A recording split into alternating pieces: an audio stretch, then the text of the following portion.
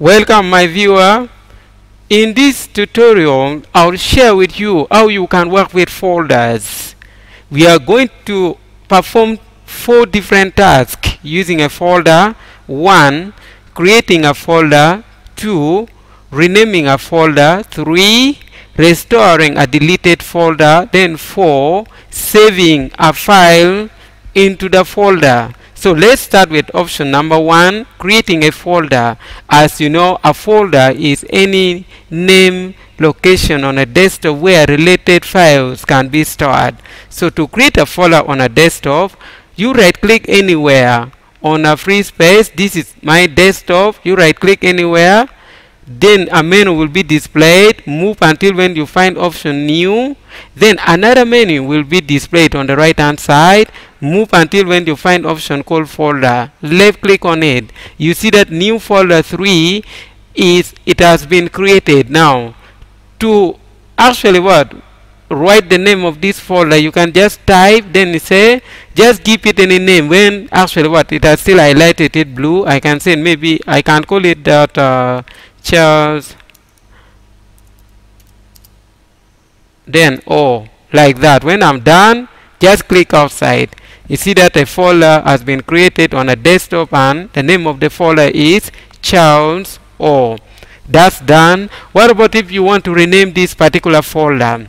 It's not difficult members. You can just click, select this folder, left click on it. You see that a light blue background will be highlighted. So what you do, right click again, then you follow the option called uh, continue following until when you find rename. Then just click left.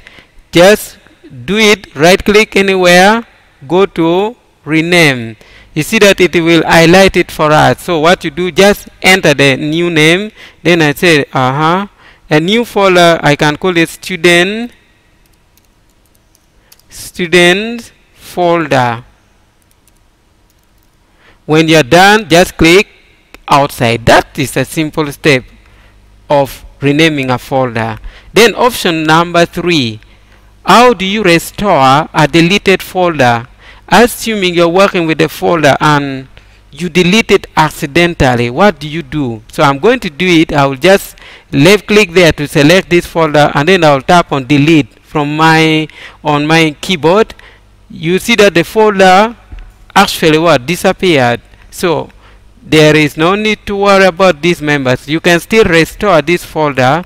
You know a recycle bin is where deleted items are stored. So you double click on a recycle bin. Mine is here. I've said dustbin. I've renamed it. Yours can be a recycle bin. So double click on it.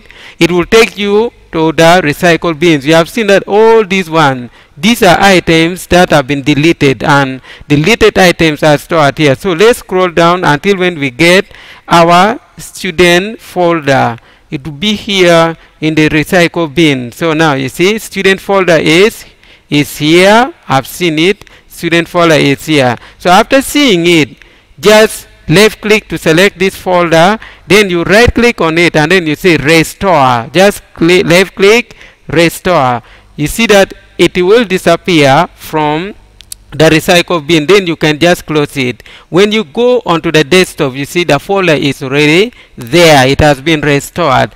Then option number four how do you save your items or a file onto your folder that is not a very difficult thing to do. First you create that file. I can create any file Microsoft Office file. I can save uh, create Word document. Let me just come here and then I can say Word. I can type Word. Or even you can just right click anywhere. On the desktop then you say new and then you say Microsoft Word document then after that you just type on this particular document and then you say this is my student student student file like that. Then you click outside. When you're done creating this particular um, a file and saving your work will now be simple. You can just drag left click this particular folder to select it press and hold down the left button on your laptop or the mouse on your desktop. So what you do, just press annul it and then you carry. This process is called dragging. You can drag this and move it anywhere you want. So I can just drag this file and put it there onto this particular folder. So when I open inside this folder by double clicking, you see a student file is already there. So members, thank you so much for watching this tutorial. That is a simple process of dealing with a folder.